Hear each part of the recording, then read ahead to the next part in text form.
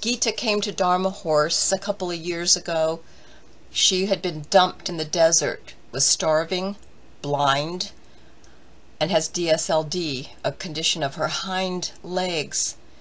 She was an amazing, sweet mare with all that had happened to her.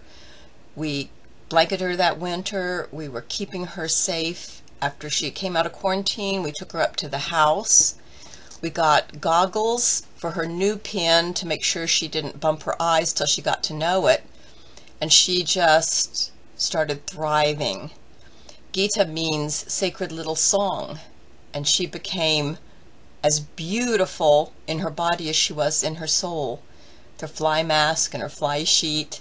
The DSLD made her hind legs drop so far down that the joints, the fetlocks, touched the ground.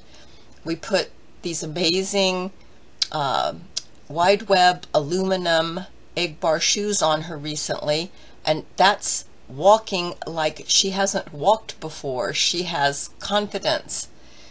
She's thriving, and we love her, and she's here for life.